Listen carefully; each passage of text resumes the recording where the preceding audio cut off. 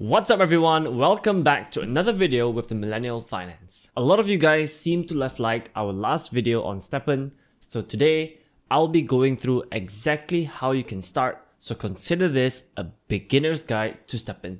Let's get started. Cha-ching! So what will you need to start with STEPN? The first thing that you need of course is Solana because that's what you use to buy the shoe. If you don't have any Solana, then I recommend that you use Huobi. We'll leave our link down in the description below. You'll get 5% off your trading fees. In terms of how much, the floor price of STEPN seems to be around 13.5 Solana, but I recommend for you to get about 17 just to get a better shoe. Other than this, of course, you would need the STEPN app that is downloadable on both Android and iOS. And when you download that on your phone, you need to make sure that your phone is GPS enabled and if you think your phone has any GPS issues, they might not be so ideal. This is because, like I said, STEPN tracks your steps and your speed based on your phone's GPS, so you want it to be as accurate as possible. Also to start, you would need an activation code from STEPN. I'll share later how you guys can get it. So the final thing that you would need, this one is optional, which is the Phantom wallet. This holds all of your Solana and Solana related coins. It just makes things easier. You don't really need it because technically you can transfer from your exchange directly to your STEPN wallet and vice versa. So how exactly can you start? First of all, download the STEPN app and input your activation code. If you don't have an activation code, you need to get one from Discord. Right now, it is a bit difficult because everyone is trying to get an activation code. And I think every day the team releases around 1000 of this at a certain time. So we'll leave the link to the Discord down below. You guys can use that to join it and look for the channels that share activation codes. Like I said, it's pretty hard to get one now. You have to be really quick whenever you see one to straight away put it into your app and just keep trying until it actually works. The reason that they're limiting the amount of people who can join every day is because they don't want too many shoes being minted or bought, so they just want to set some sort of control, I guess. So once you've gotten it, once you're in, what you have to do next is to set up a Solana wallet on the app itself. If you already have a Phantom wallet, you'll have the option to import this wallet onto the STEPN app, but I recommend just creating a completely different wallet on STEPN itself. If you guys don't know how these online wallets work, I highly recommend that you watch our video on it. You'll also get a seed phrase that you must remember because this is the only way to recover crypto from this wallet. So this wallet address that you create on the STEPN app will be the one that you send Solana to from your exchange so you can start buying shoes. Once you deposit, the Solana will appear in the wallet section, which you'll then have to move to your spending account I'm not sure why they split this two, but yeah, you'll have to move it to your spending account to actually buy the shoe. So enough of this high level talk. Let's get straight to what shoe to buy and how do you choose. Alright, so this is the STEPN app. This is what you will see on the homepage, but when you just bought it, you'll see Solana right at the top if you have any deposited. I don't have any right now because I already forgotten my shoe. So they have a marketplace in app. You just have to tap the one on the right most and you'll see all the different kinds of shoes that you can buy. If you're familiar with Solana NFTs and you know Magic Eden, STEPN is also sold on Magic Eden, but I highly recommend that you buy it on the app instead of Magic Eden because there are way better options and it's usually cheaper. There are four different types of shoes. If you just click the filter here, you can see that there is a walker, jogger, runner, and trainer. This will determine the speed that you can walk at to earn GST. I generally recommend a jogger because you can walk between 4 to 10 km per hour, which isn't really jogging. You can just, you know, fast walk and you meet this requirement. If you don't like walking fast though, if you want to take your time, then go for a walker. You won't earn as much. And if you like jogging, if you like running every single day, then you can go for a runner. You will earn more GST. The reason I didn't do this is because I don't think I can run every single day. I prefer walking. The best option by far is of course the trainer. This allows you to walk at any speed and earns you the most amount of money. But of course, these then are then the most expensive option for shoes, which is why I also didn't go for it. So again, my recommendation here is to go for the jogger. Alright, so in choosing a shoe, there are four different attributes that you have to look out for. Let me just show you guys my shoe. So you can see here, there's four different things, efficiency, luck, comfort, and resilience. Let me go through them one by one. The first up is efficiency. This basically determines how much GST you will earn from walking every single day. GST is the native token to the STEPN ecosystem and it is basically how you'll be earning money from walking. Every day you'll get a certain amount of GST based on the type of sneaker that you get and its attributes and how long you walk. And you can then trade this GST into USD or Solana or anything that you like and transfer it out whenever you want. Next up, we have luck. This is basically the chance at a random drop. In my opinion, this is not very useful. I've heard that if you have a very low level shoe like mine, which is level 9, then you technically won't even get any random drops because the chances are just too low. So I just completely ignore luck for now. Maybe things will change in the future, but um, yeah, this is not something I look at. For comfort, apparently this is how much you will earn in terms of GMT when that starts to happen. Right now, this hasn't happened yet. So again, comfort is another thing that I'm ignoring for now alongside luck. The final attribute that a shoe has is resilience. So this is another one that's important. Basically, every single time that you walk, your shoe will kind of degrade, then you have to repair it. And the higher your resilience, the less GST you'll have to pay every time you repair your shoe.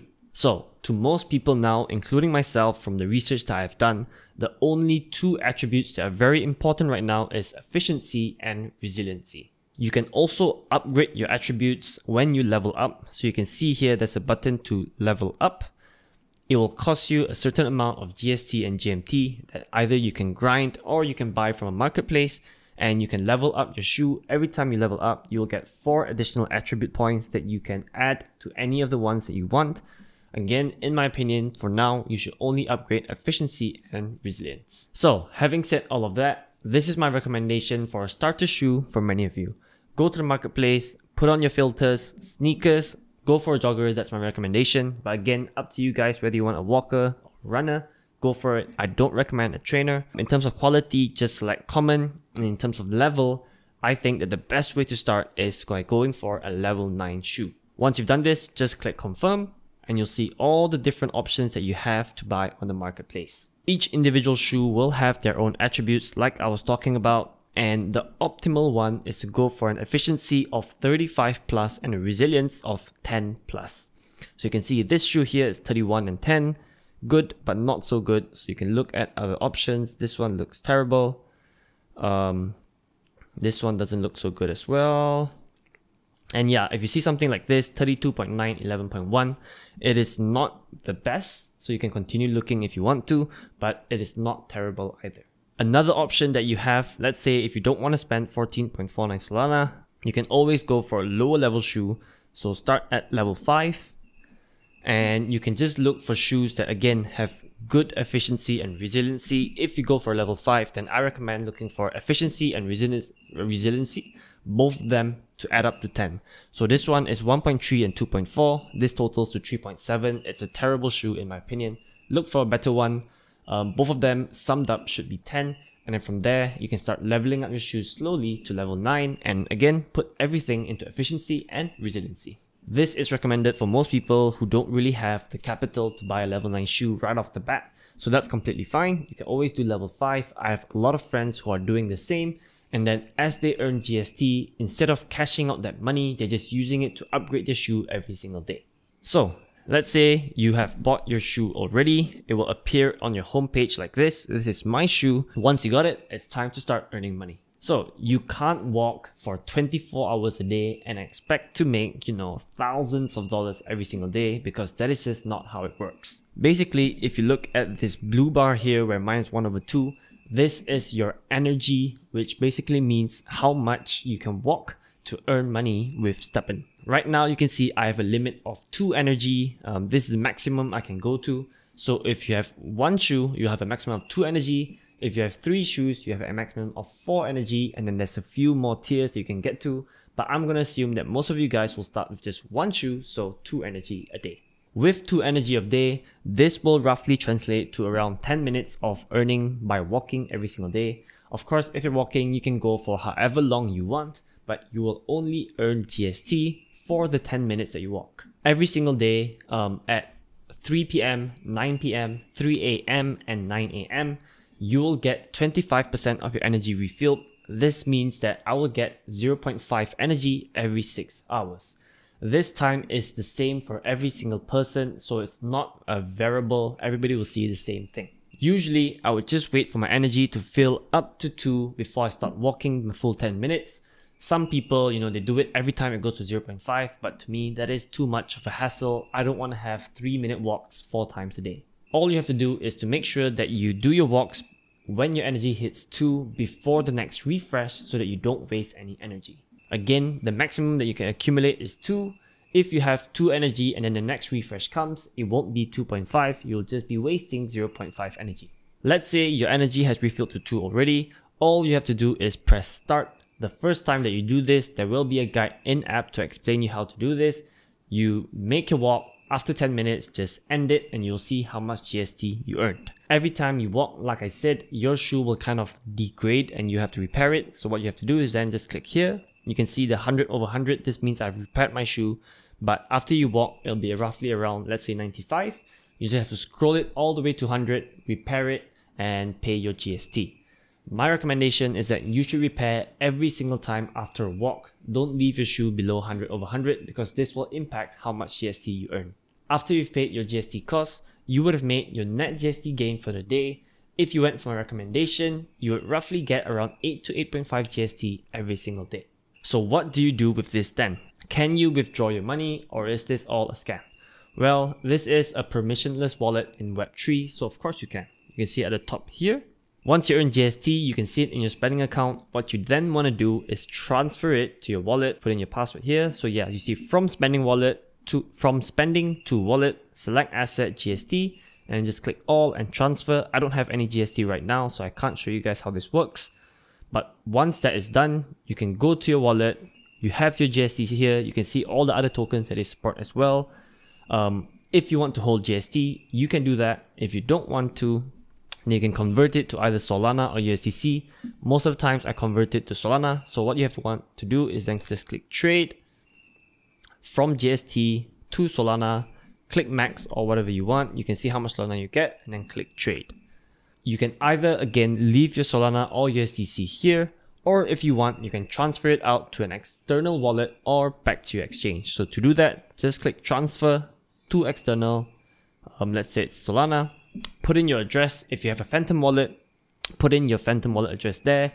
If it's an exchange like Huobi, then put the address there as well. How much do you want to withdraw and just click confirm. Again, I have done this multiple times. Let me show you guys uh, my transaction history. So I can show you guys some of the Solana that I've already transferred to my Phantom wallet. I use this to buy more NFTs, but it's up to you guys. You can do whatever you want with it. You can withdraw it back to, you know, fiat currency, Malaysian ringgit, USD, up to you. You can see here I've sent 2.37 SOL, 1.06 SOL, 0.63, 0.85, and yeah, Basically, you can withdraw anytime that you like. Like I said, this is a permissionless wallet. Um, STEPN can't really stop you from transferring it out. I've tested all of this. You have no worries about it being a scam or them locking your funds in this app. STEPN is, in my opinion, a revolutionary way of switching from the P2E meta to sort of a walk to earn meta. This is a really good innovative product in my opinion because, you know, at the very least, I'm exercising and as a benefit, I'm also making money from it. With the current tokenomics, this is not something that I see will sustain for years. So don't get your hopes up. Don't quit your job after looking at the returns that you will get, but consider this sort of a side income for you. I hope you guys found this video helpful and I hope that you can follow the steps to start your journey with STEPN if you're interested. If you guys have any questions, let us know down in the comments below. We'll be always happy to help. Thanks for watching till the end, give us a huge thumbs up and subscribe to our channel if you haven't already. See you guys in the next one. Peace out.